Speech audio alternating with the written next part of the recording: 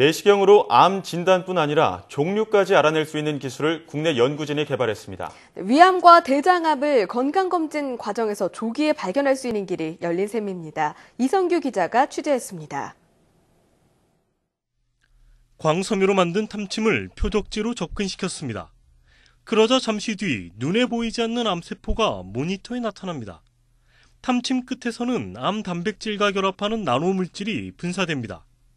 이 나노 물질이 암 단백질과 결합한 뒤 빛을 내는데 그 신호를 분석하는 원리입니다.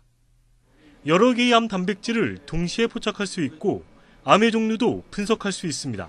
기존에는 형광 신호를 써가지고 어, 분자 바이오마커를 보는 기술이 있는데 형광 기술을 쓰니까 한 번에 하나의 어떤 표적 물질들밖에 볼 수가 없었습니다. 근데 이제 우리가 이번 기술을 통해 가지고는 어디에 붙어 있는지를 알면서 동시에 여러 가지 표지 물질이 있구나 없구나 얼마나 있구나 하는 것을 알 수가 있게 된 겁니다. 광섬유를 이용한 이 기술은 병원에서 사용하고 있는 내시경에 바로 장착할 수 있어 실제 암 진단에 쉽게 적용할 수 있습니다.